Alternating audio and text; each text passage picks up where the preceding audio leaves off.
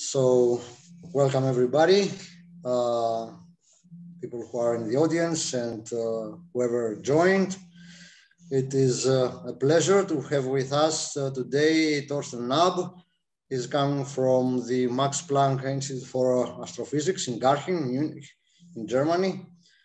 Thorsten uh, finished his PhD at uh, another Max Planck Institute, Max Planck for Astronomy in, in Heidelberg and then after being uh, for a while uh, a Cambridge fellow as a postdoc, uh, he came to the Max Planck for Astrophysics in Garching, where today he leads uh, his own research group. Uh, he's working in uh, computational astrophysics, N-body simulation, star formations, and all that nice stuff. And the talk today, as you already see in your screens, is about the Griffin projects towards realistic simulations of galactic star cluster populations. Uh, we can uh, immediately start. As usual, uh, just for the economy of uh, the situation now with the webinars, uh, we keep all uh, questions at the end of the talk, which will last for 45 minutes to an hour about, and then will be five ten minutes time for anybody who wants to ask questions. Thorstens, we can uh, start. Please go ahead. Thank and you. And I ask everybody kindly to ask to, to mute their microphones. Thank you, Panos, and thanks a lot for for the intro for the very nice invitation and the introduction. So I think uh, so. We met when I did my thesis in Heidelberg, which was quite some time ago already. okay. Okay, today I will start about the Griffin project. And this is a project which we uh, have started to do more realistic simulations of galaxy uh, formation, galaxy evolution. Um, and you can already see in the background, this is a simulation of a turbulent ISM box. So the idea here is that we would like to understand galaxy evolution and the evolution of their interstellar medium at the same time, uh, which is a, a, numerical and, and theoretical challenge. So as an introduction, um, uh, here is, a, is an image of M, M82, uh, famous starburst galaxy.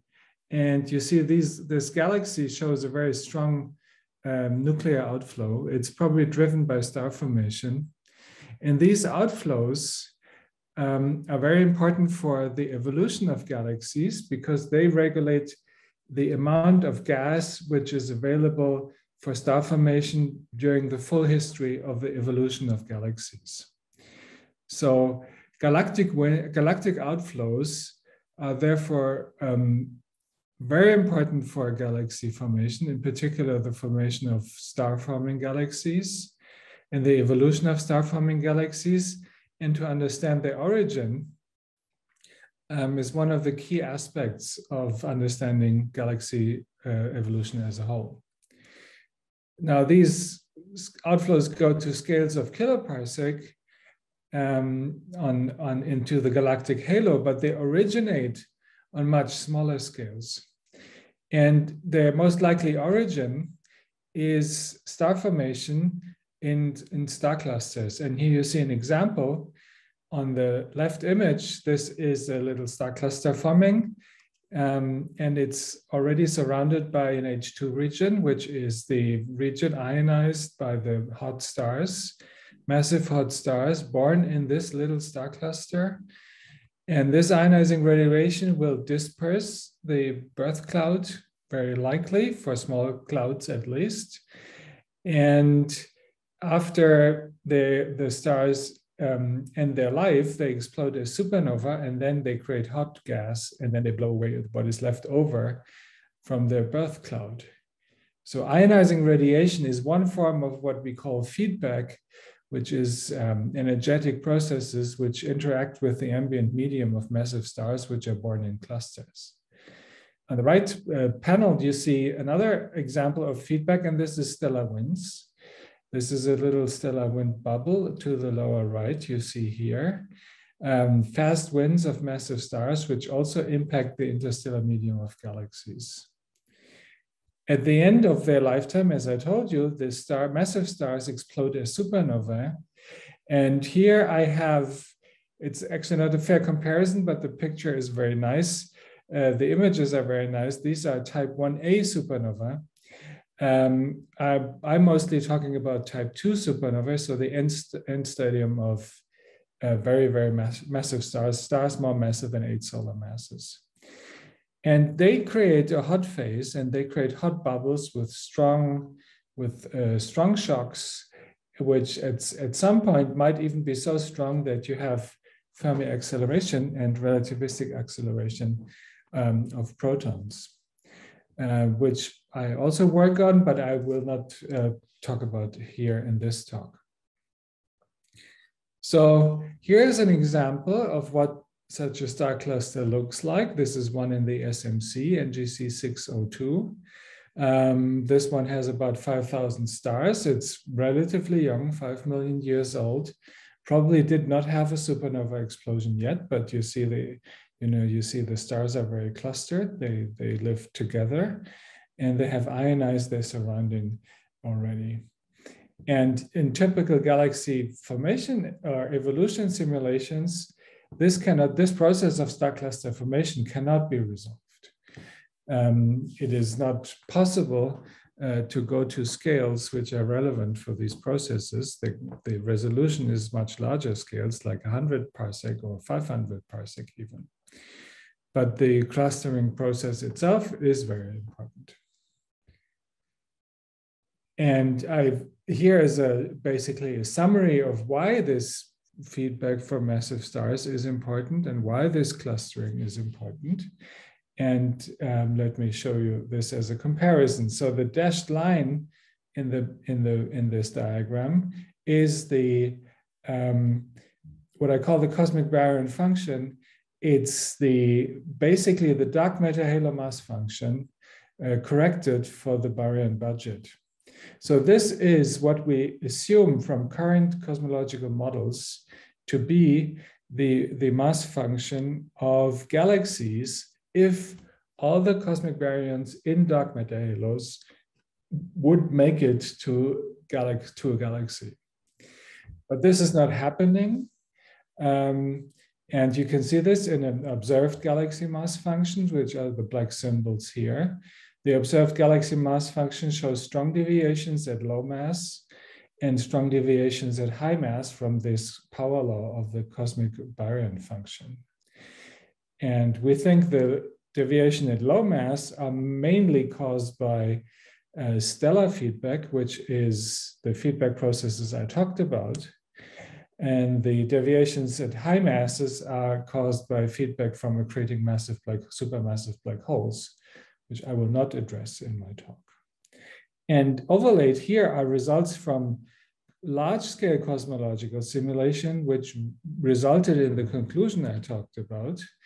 Um, and they're more or less, this is different, uh, different realizations of forms of stellar feedback in these simulations, all on sub-bit scale, sub-resolution scale, which led to the suppression of the galaxy masses at at low in low mass dark matter halos in more or less good agreement with um, observations. Now, the, these implementation, these stellar feedback driven winds, which I introduced in the beginning, also are responsible for the formation of disk galaxies on a cosmological context. And here is an overview of six examples which were, were early in the early 10, 2010 years, um, which were the first ones which actually have shown that it is possible to make models for realistic disk galaxies with um, empirical models for um, stellar feedback driven galactic outflows. So this highlights the importance of stellar feedback and highlights the importance of uh, driven outflows by massive stars, galactic outflows by massive stars. Now, the downside of at least the cosmological simulations I've showed the galaxy mass functions for is that the typical resolution is on the scale of 500 parsec, 100 parsec, 200, 500 parsec, in this range.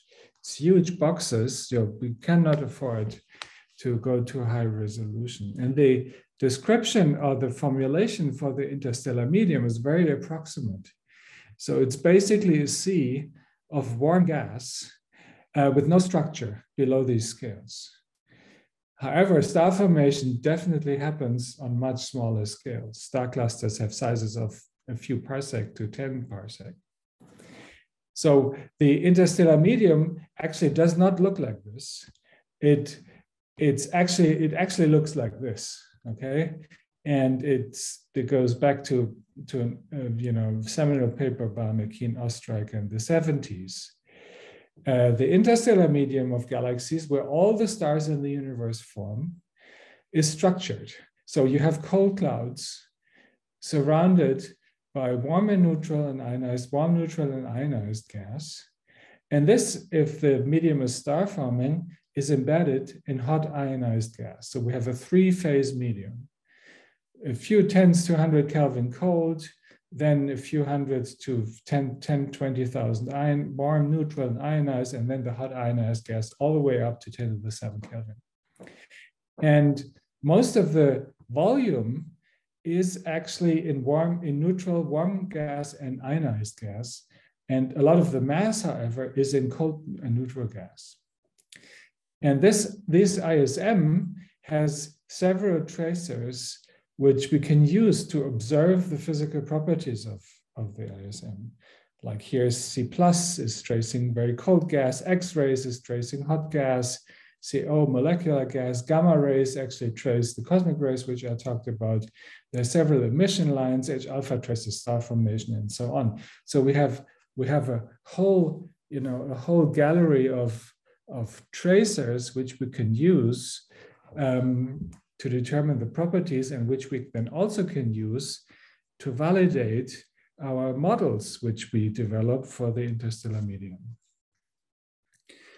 And you can imagine that you have a supernova going off. So a massive star is born in the cold phase, and now a supernova goes off. If this supernova goes off in its dense birth environment, it will not do much because it will create a blast wave, but the blast wave evolution depends on the density, the ambient density, so we will just explode and nothing happens. If the supernova goes off in a lower density ambient medium, the blast wave will be stronger and you will have a larger region that is impacted by the uh, hot phase generated in the supernova explosion. If it goes off in the hot ionized phase, it's even stronger. So if you manage to have a supernova rate which is high enough so that these hot bubbles generated by the supernova actually overlap, you will be able to create a stable hot phase. And this hot phase can will expand and will drive, will be the driver for a galactic outflow. It might carry along with it cold and warm gas, but it has to be volume filling and it, it has to be clear that the supernova rate is high enough to create this volume filling phase. Now, this is a challenge for uh, simulations, and here is an example for why this is a challenge. So we have here an idealized setup. Um, this is work by my former PhD student, Yu Hu, an idealized setup of an individual supernova explosion in a, um, in a box, in an ISM box, of cold phase ISM, at different resolutions. So this is particle-based hydrodynamic simulations. Here, the on the right, the resolution is 100 solar masses, then 10 solar masses, and on the left, one solar masses. So the highest resolution is on the left.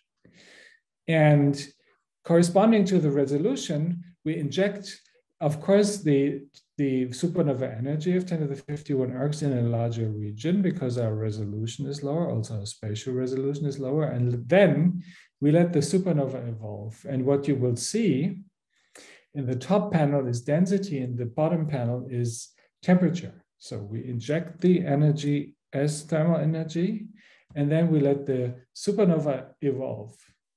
And you can see something very crazy. Uh, In the low resolution version on the right, the blast wave is gone. And it's even worse, the temperature is even colder than before, and the density is even higher than before, because with the supernova, we have also injected metals. The metals enhance the cooling.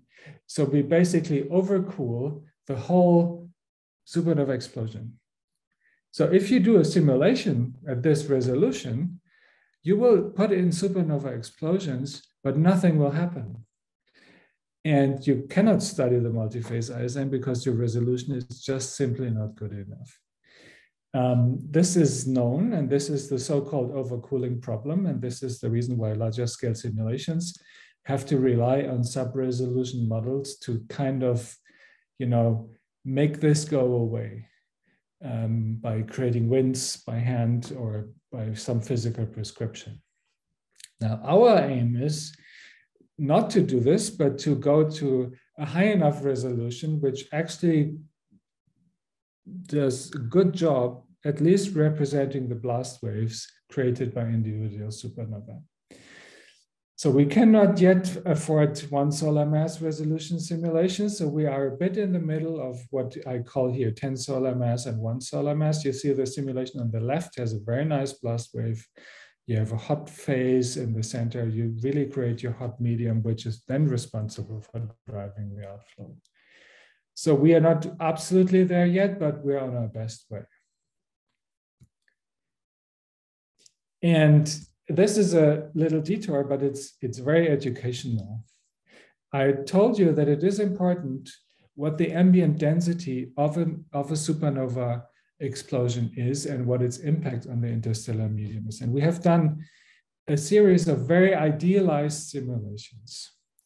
So this is just a stratified disk. It represents the midplane of a disk, of a star-forming disk here.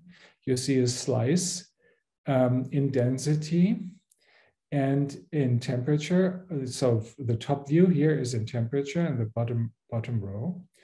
And all these ISM simulations have the same supernova rate. And we just changed the location of the supernova. So on the left here, we let all supernova explode at the peak densities. In the middle, we only have half of the supernova at peak densities, and the other half explodes at random locations in a given scale height. And on the right, everything is random. All supernova explode randomly.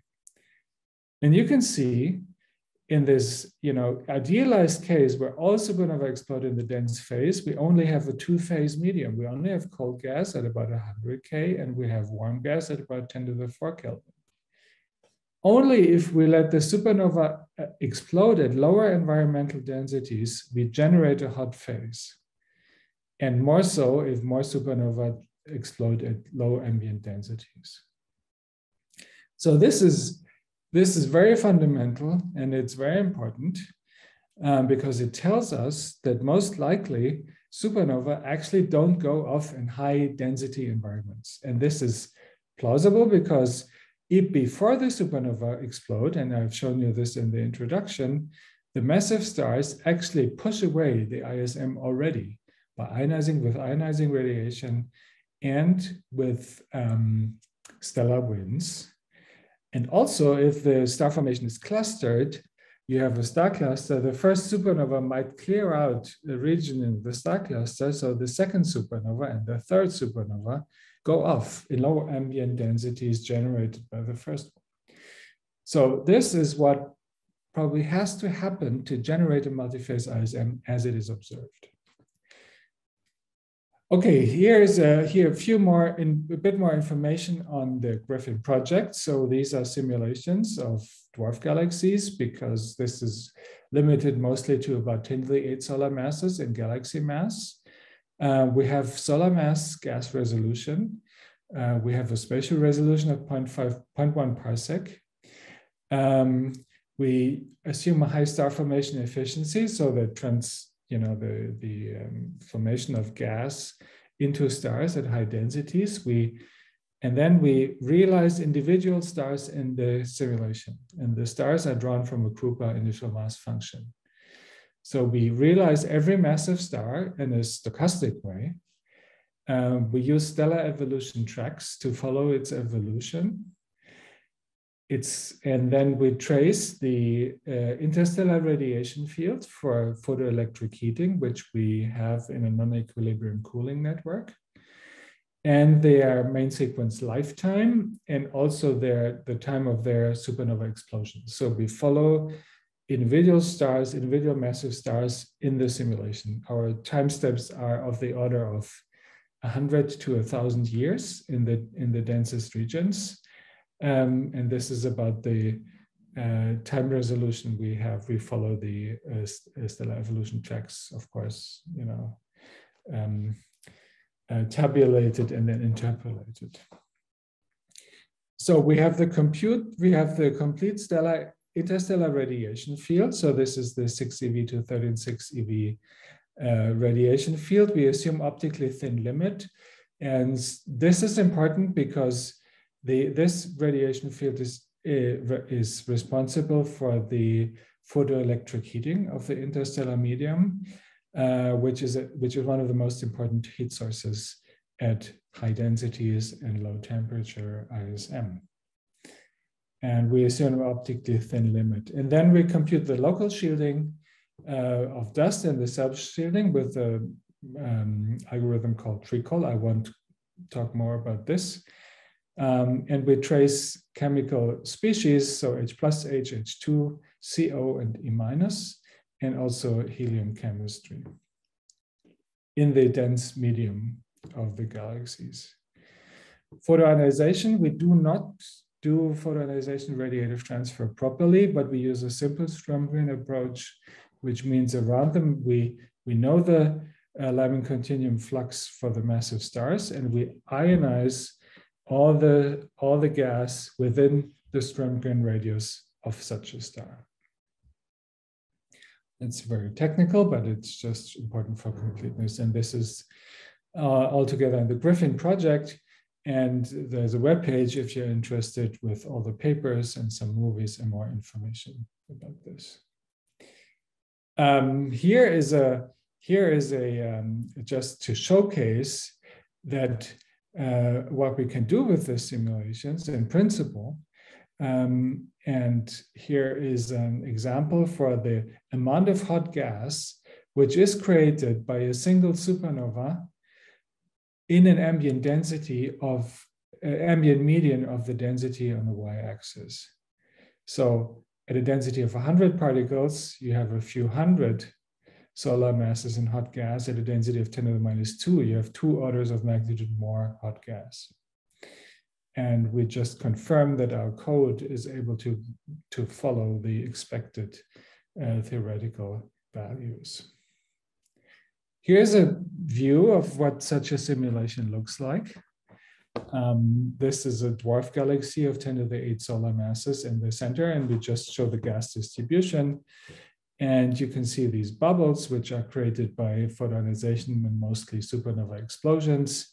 You see um, filaments, cold filaments of gas. Uh, you see groups of uh, cold gas, groups of cold clumps. So there's a lot of structure you can see spiral features here. There's a lot of structure um, in these simulations, and they have a very high dynamical fidelity. The um, I hope you can see this movie, but I just want to show you a, a case for these for this idealized simulation. Um, the left is a view of the H the, of the neutral hydrogen distribution, uh, face on and edge on. In the middle, you can see the uh, molecular hydrogen distribution, and on the right, you can see the um, ionized hydrogen and all these bubbles that uh, here, you know, come up in red. Every bubble is this explosion of a single star, of a single massive star in the simulation. So we have reached relatively good resolution so that we can actually try to follow the um, evolution of the multi-phase interstellar medium. And you can see here a phase diagram um, showcasing of what we can do. This is temperature versus density. So we've resolved from 10 to the 7 down to a few tens of Kelvin. and about eight orders of magnitude in density. And the black curve here is the equilibrium cooling curve. Um, and this is what, you know, how the distribution for such a simulation looks like in the phase diagram. Um, this is an example of what the interstellar radiation field looks like. Uh, you see a map of the interstellar radiation field in units of G naught, which is the solar value um, on the left. And on the right, you see a radial distribution and the vertical distribution and with the individual peaks generated by the individual star clusters here. This is very important because um, it is important to, to have these heating, to account for these heating effects um, in, in high density regions of star formation. So we can do, um, I just show an overview here. Uh, we can do a lot of experiments here. For example, we can test separately the impact of photoelectric heating, PE, photoionization, and supernova explosions on the structure of the interstellar medium. And I should just highlight a few extreme cases. For example, this simulation here, top left, is our fiducial simulation. And the simulation on the bottom left has no supernova explosions and no photoionization. And you see it's very different, okay? So no bubbles, no structure, no hot phase. Hot phase here would be the blue. This is the density representation. So the hot phase would be the low density material. So this is clearly wrong. This is not what the ISM of a galaxy looks like. Um, photoionization has some effect, but it's not extremely strong. Uh, photoelectric itself, also it's it's subtle, so but it cannot be seen here. There's an interesting, um, another interesting effect if you compare the top left picture or the top pictures as a whole with this picture on the bottom right. So what we have changed here is we have just um, not allowed for the massive stars to follow their full evolution tracks, but have forced every massive star to explode its supernova after 3 million years. Typically, it starts after 5 to 6 million years and goes on to 40 million years, depending on the mass of the star. So here we have just forced the star to explode after 3 million years as an experiment.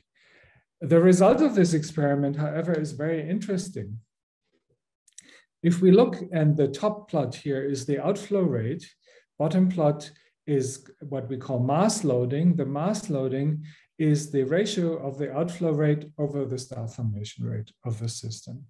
All the simulations have a similar star formation rate, but the outflow rate is very different.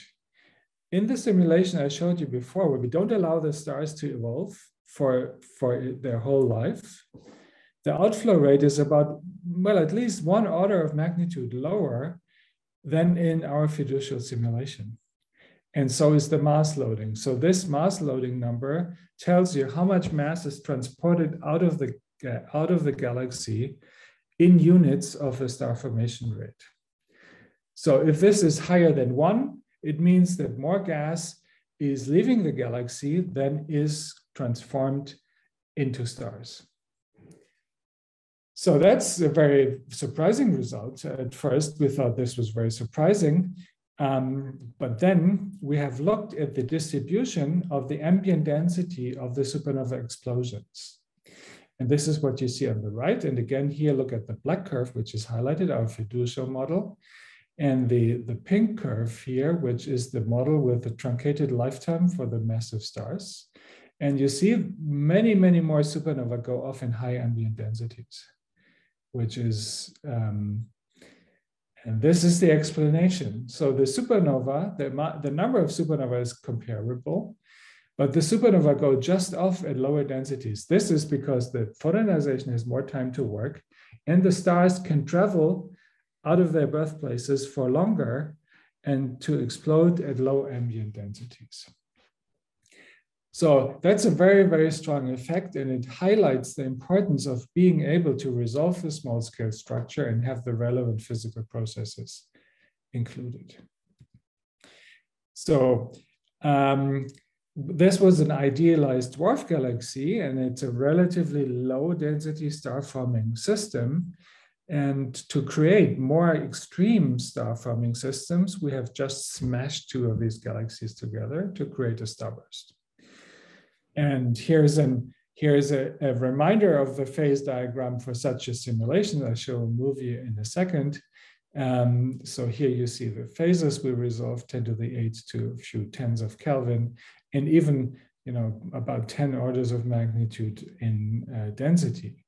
So at high densities here, which is the black line here, uh, we have a Jeans mass-based threshold for star formation. So all gas which goes over this threshold is automatically turned into stars. And gas in this intermediate regime between the dashed line and the solid line is turned, can form stars, but it has attached a given star formation efficiency per free fall time.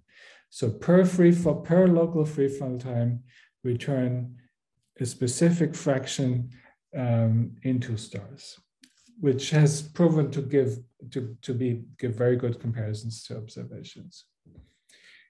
And the pressure density diagram is shown on the right for comparison.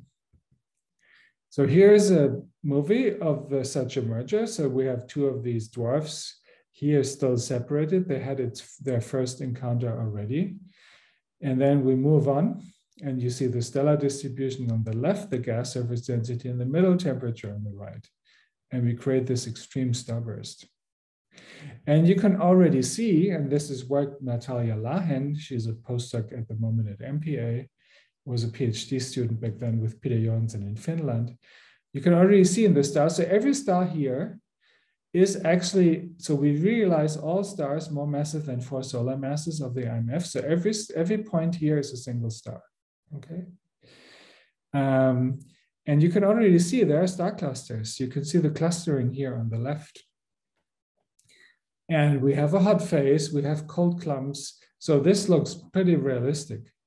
So what Natalia has done is she has now looked at all these star clusters, identified them with the Friends of Friends algorithm.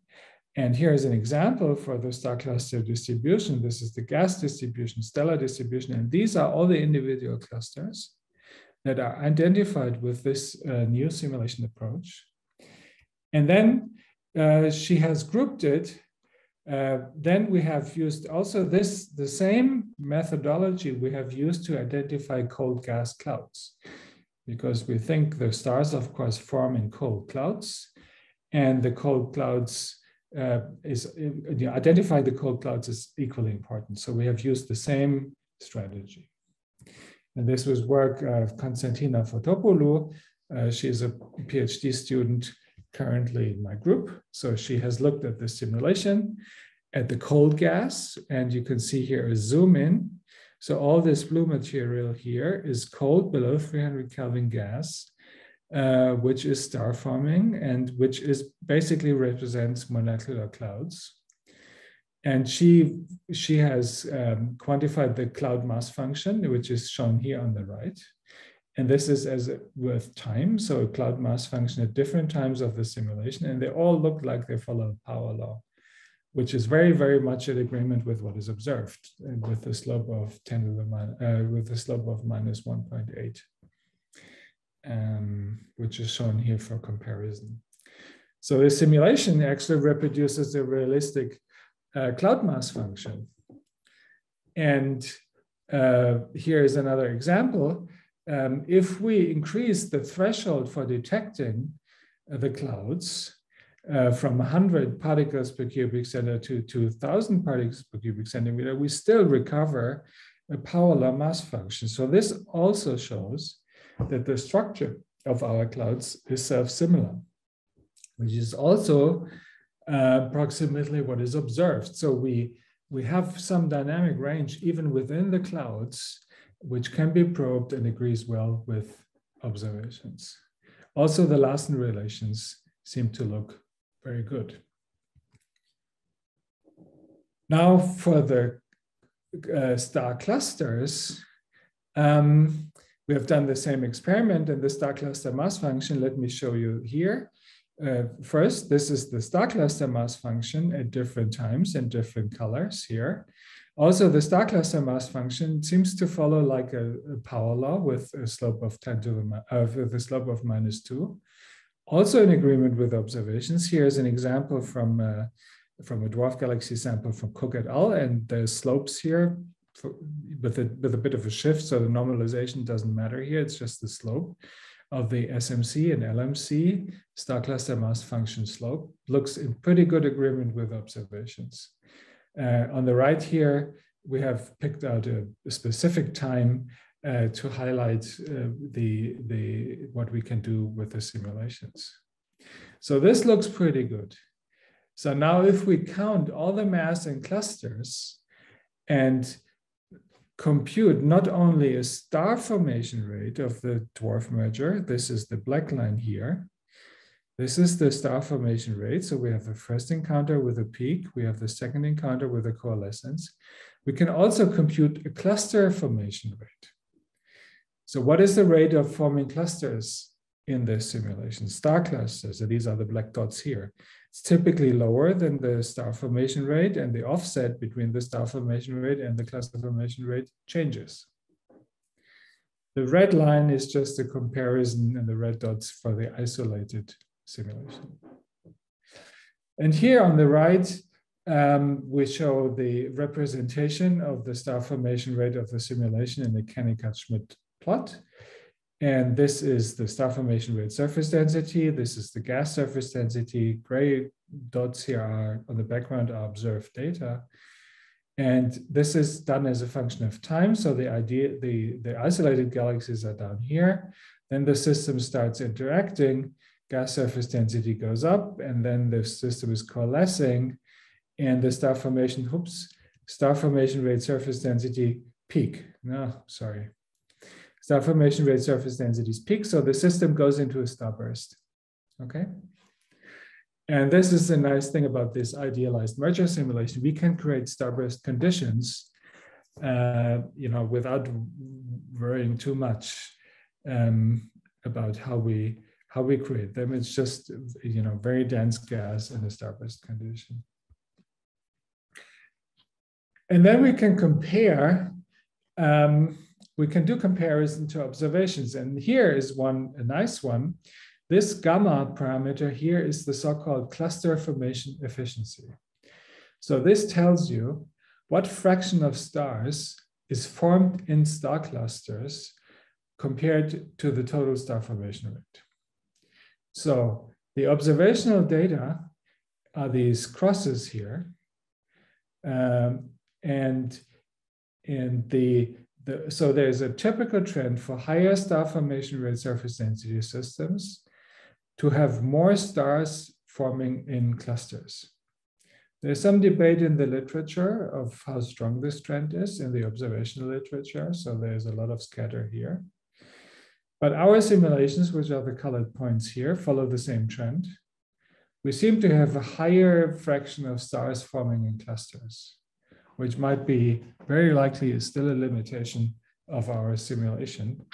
But it's of course expected because we're just starting with this and we, we cannot expect to have the full answer to all the questions yet. But we seem to see a trend that more extreme star formation environments have more stars forming in star clusters. And we have tested this, and this is work by Jessica Hislop, another PhD student um, at MPA. Um, and what she has done, she has changed the star formation efficiency. Um, our fiducial simulation is this one here. We have a 2% star formation efficiency. We can do lower ones and we can do higher ones, like up to 50%. So this makes it easier for stars to form in dense regions, and this makes it more difficult. The lower efficiencies makes it more difficult for stars to form in dense regions. And here we have computed for all the star clusters the virial parameter. So if this is above one, the star cluster is very bound, gravitationally bound. And you can see if you make it very difficult for stars to form, the gas clouds can collapse and we form very dense and very bound systems. And we can regulate this with this efficiency parameter For 50% efficiency, we form much less clusters. And with the clusters partially actually unbound. So they're just stellar associations. And how this looks like um, in a stellar surface density plot, you can see on the left. So here we form a lot of dense clusters. And here the clusters form, but they're relatively easy dissolved. And then we have a nice, you know, disk of stars. And this is a comparison of these four simulations with their star formation rate, their outflow rate, and their mass loading. And you can see there's not such a big difference of the stars, but the rates are not so different. However, we see a trend, and this is in Jessica's paper, described in Jessica's paper, that more clustered simulations actually in later phases drive stronger outflows. So the clustering of the stars has an impact on the outflow. And the process is, as I described before, the process is driven by um, the clustering, creating lower ambient densities for the supernova to explode.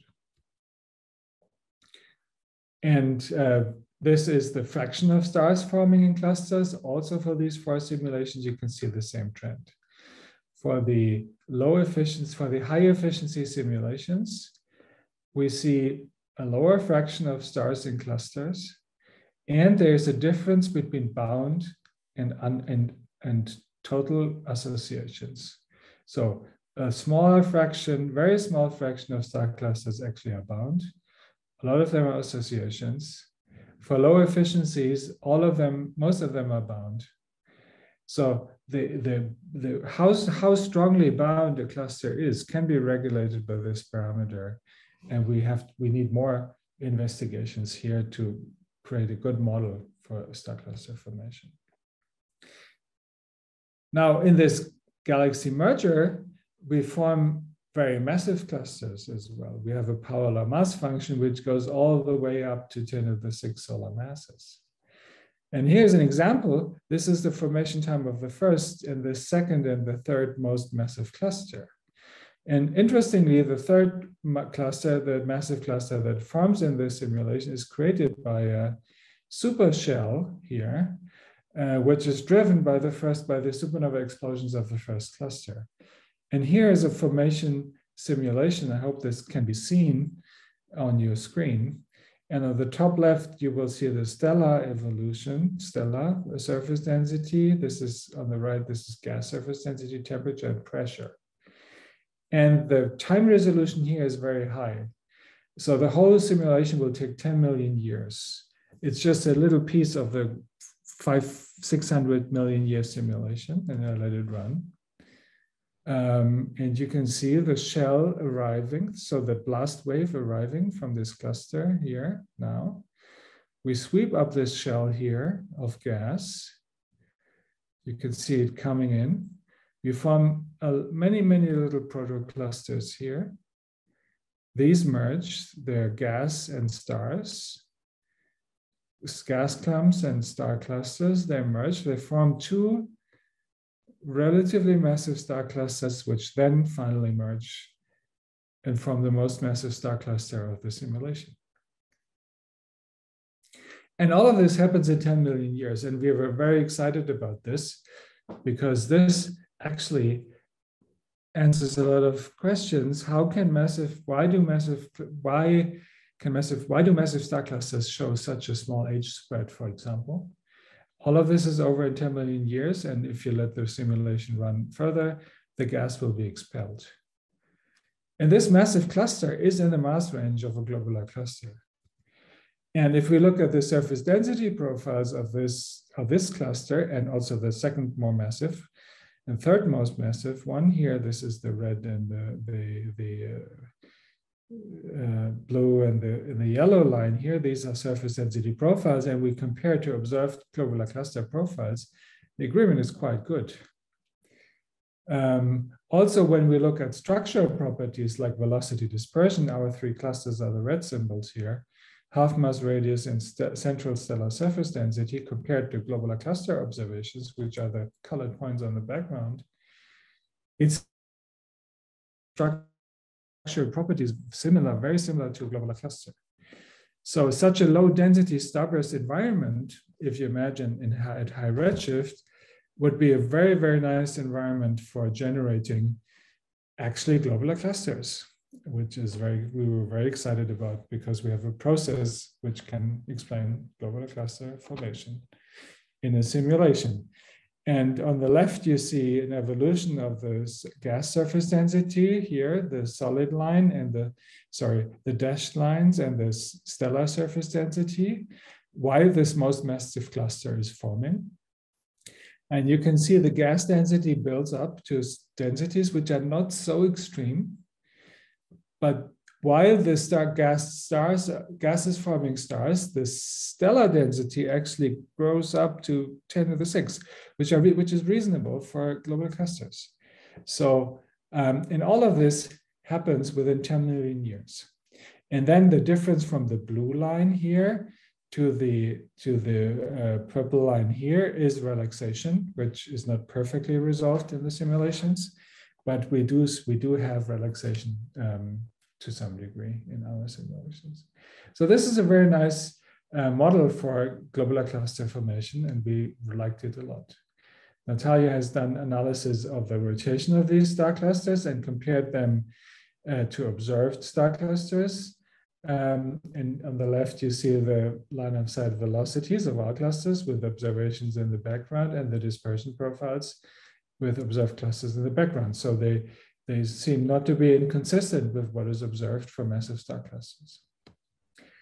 Um, and recently, Natalia has done a post-processing of our simulation. I'll just show you this nice movie. This is a BVI color composite at HST resolution of this whole dwarf starburst. You can see, you can nicely see the star clusters here um, in the simulation, and this is a zoom in.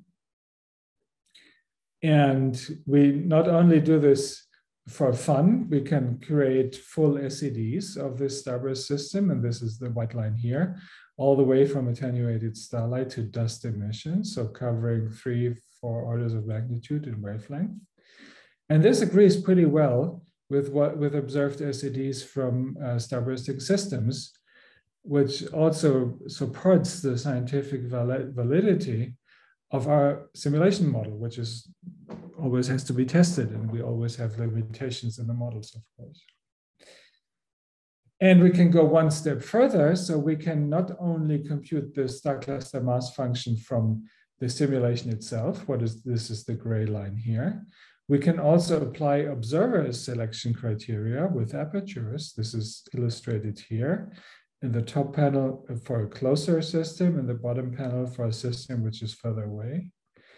And determine the cluster mass function observationally, so to speak, and see what the effect is on the observed slope of the cluster mass function. You can see we lose low mass clusters because they are not resolved anymore in the observations and the cluster mass function seems to be a bit shallower than the underlying intrinsic cluster mass function.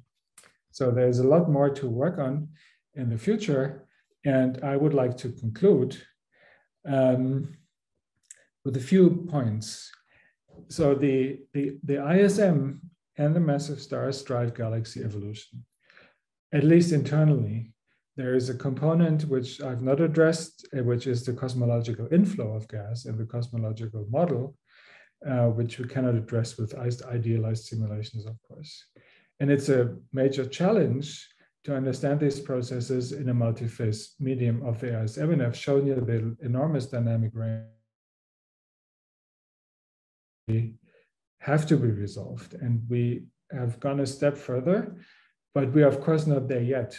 We have not resolved all supernova, many, but not all supernova explosions. We have approximations for radiation transfer and so on. But we have some requirements. We need high enough mass resolution and spatial resolution to actually represent the multi-phase medium and the structure of the clouds on, sub, on parsec scales. Because this only then we can uh, we can reproduce plausible and realistic ambient density distributions of the ISM and determine the driving processes for supernova explosions, which are the most important processes setting the structure of the ISM. And the most energetic, and the, it's the only process uh, or the dominant process generating hot gas in the interstellar medium. And this has to be resolved to actually understand how outflows in galaxies are driven. Um, with these simulations, um, with I, I, call here resolved galaxies. Of course, this is not really resolved. It's just resolved if you compare to previous galaxy simulations. um, but we have a good model for globular cluster formation and and a reasonable simulation from, you know, from formation of the cloud to the cluster to its final state, which is actually I think a success.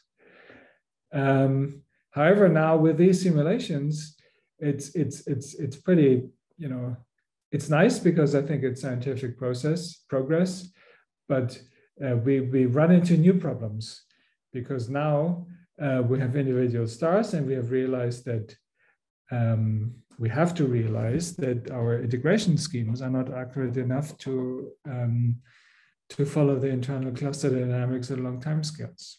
So we're working on this and we we are developing new codes higher order integration schemes like the frost code with Antti Rantala um, to be able to follow this in the future. We have to explore resolution limits. Uh, we still have a sub-resolution model for star formation, which has to be adjusted to the high dynamical ranges we have here. We need more tests of physical processes, convergence test, code comparison, and so on. and I think um, the next step here um, actually would be to, to develop a new class of uh, algorithms with higher order integration schemes to make more progress and do this um, more self-consistently in the future. Thank you.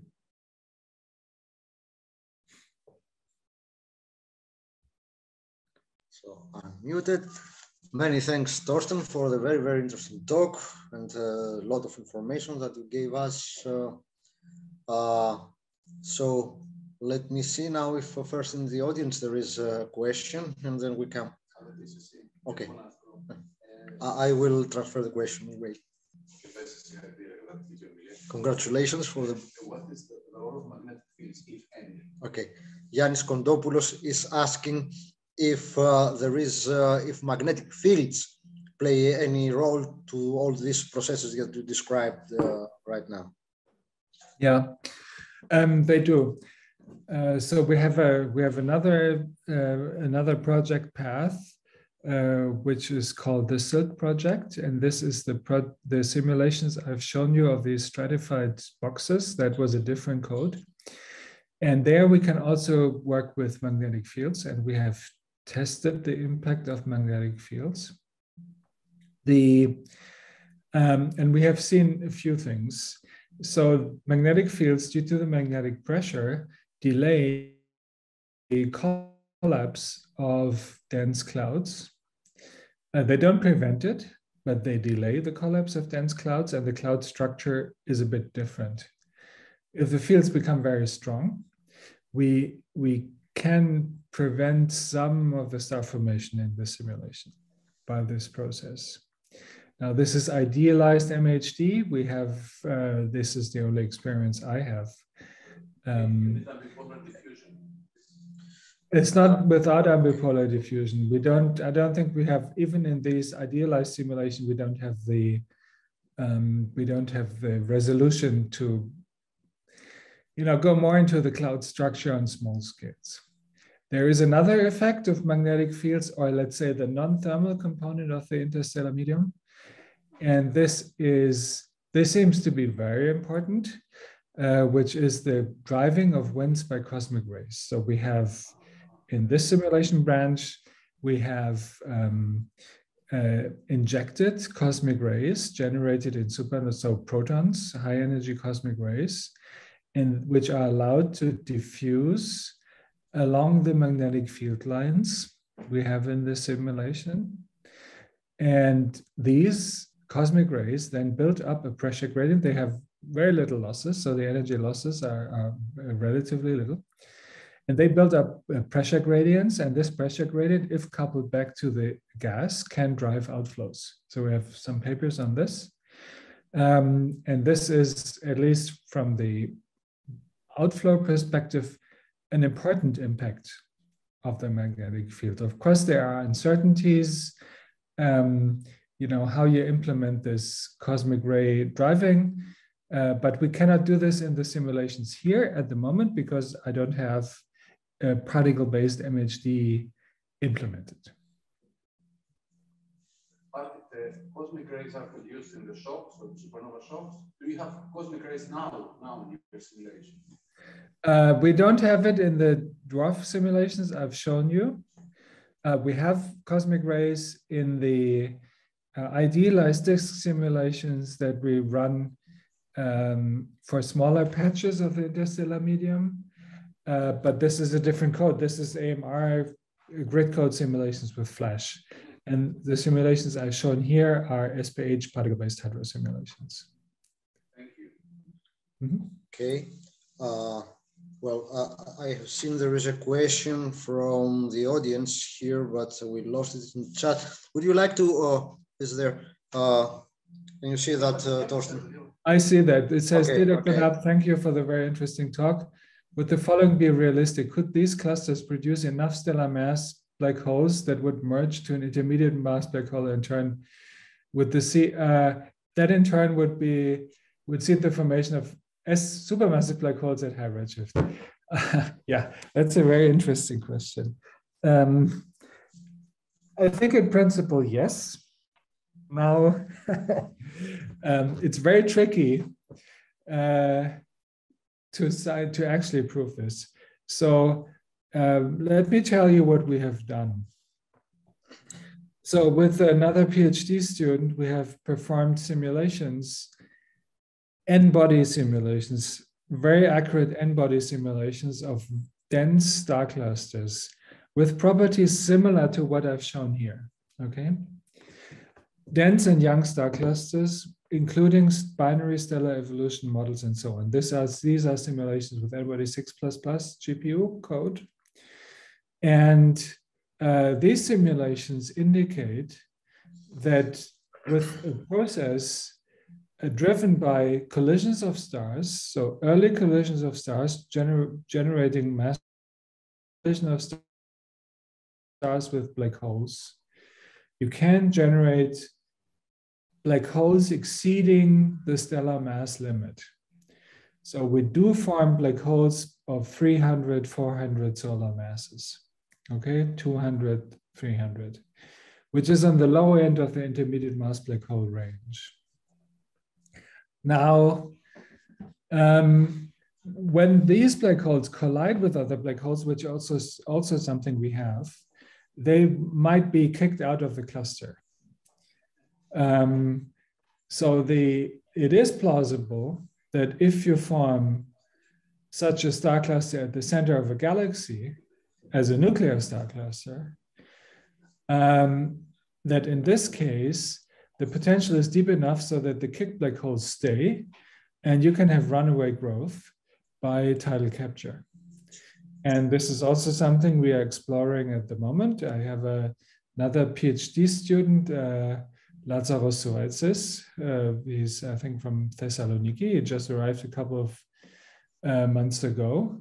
And he is trying to investigate this process in more detail. And I think, in my view, this then is the path. This can be the path towards forming the seeds for supermassive black holes at high redshift because the process is very rapid. This um, black hole, seed black hole formation process takes only 20, 30 million years. It's over after the relaxation of the cluster and gas expulsion. So, so this is also the reason why I would like to push the simulations I've shown you here to a stage where we can accurately follow the stellar dynamics and accurately follow the stellar collisions in the clusters that we form with gas. It will take a couple of years more, uh, but I think that's a that's exactly the direction I'm I'm working on. Okay. Uh, other questions from here around? Uh, let, let, me ask you something, Thorsten. Is there uh, any difference in all these properties, especially about the clustering of star forming region between, uh, let's say, a star forming region in a dwarf galaxy before colliding with uh, another dwarf, and uh, those that we meet close to the standard uh, spiral arms of grand design galaxies? Um, or, same, I mean, especially I'm interested about the, the, the clustering, how long, if there are differences in the time that uh, these new clusters are bound or they dissolve. Okay, uh, so there there diff the different questions. Uh, so the the we think, but we don't know yet from simulations. We think the star formation process is relatively cluster formation process relatively universal. It's just that at high density environments, which are generated here. And this is a particular environment because it has very low shear. So the, the, the circular velocity of the, of the dwarfs are very low and the shear is very low. So we can bring in a lot of gas on a short time scale, which is not shearing apart, okay? So and, and we think this might be the reason why we can form so massive clusters on such a short time scale. In spiral arms, the first of all, the star formation rate density is not, uh, the, the gas density is not so high, the rate density is not so high. Shear might be more important. Uh, so you just might not form as massive clusters um, as you have here. So the idea is that the cluster mass clusters always form with the power law mass function. The normalization is set by the by the by the environmental properties, so density and probably shear. So you have higher normalization, which also results in more massive, most massive clusters in extremer in, in more extreme environments. The cluster disruption problem we have not solved yet. So these clusters, observation observationally, the clusters, so let's say per dex in time, 90% um, of the clusters should be dissolved. So, uh, you know, in the first 100 million years, you should lose 90% of the clusters. In the next um, giga year, you should you lose another 90% of all the clusters because all the old stars we see are not in clusters. And if you if you check cluster mass functions at different ages, uh, their normalization goes down. And we have we not we are not at the moment we are not able to accurately capture the cluster disruption processes. We capture the formation pretty well, but not the disruption. I showed you that for our fiducial model, the clusters are very bound. So they basically hang around forever. Okay, they're so bound that they don't dissolve.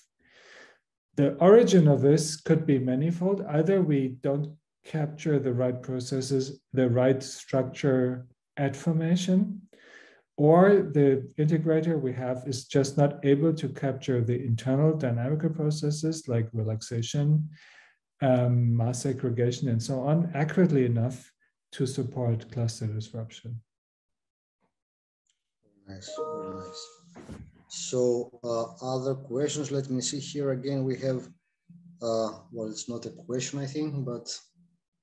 Yeah, let me just read it. I think it's yes. uh, uh, Costas who asked the first question.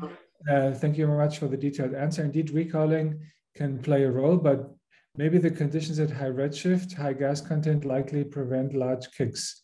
Laura Blecha has extensively worked on recoils of supermassive black holes. Yes, uh, that's true.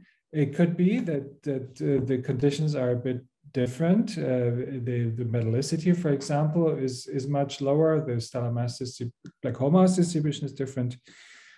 Um, uh, that's that's correct.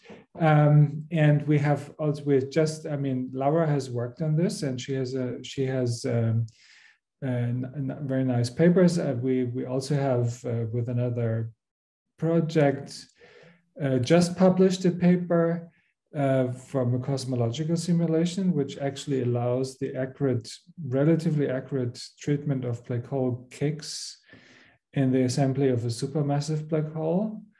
Um, now, this is supermassive black hole mergers, but there the kicks, it could be that they are not large enough so that the the black hole actually comes back to the system. Either this, or because the galaxies continue to merge with other galaxies, even if one black hole is lost, another galaxy brings in another supermassive black hole and replaces the one that was already there. Um, so there are there are a lot of complications and a lot of potential solutions, uh, which I think at the moment are still all on the market. And it's very difficult to currently see um, how this actually really works. Great. So no more questions. Maybe is there anybody else who wants to ask? If not, many thanks, Thorsten. It was really, we enjoyed the talk.